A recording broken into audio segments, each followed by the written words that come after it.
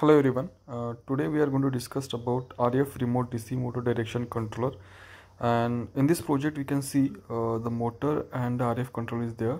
So RF based DC motor direction control uh, project provide an easy way to control the direction of the uh, DC motors uh, which is connected by the receivers.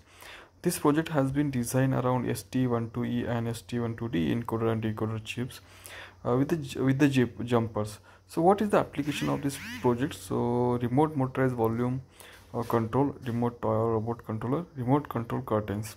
So what is the feature of this uh, project? You can see in the uh, video. So by using the supply inputs like uh, we can use the solar power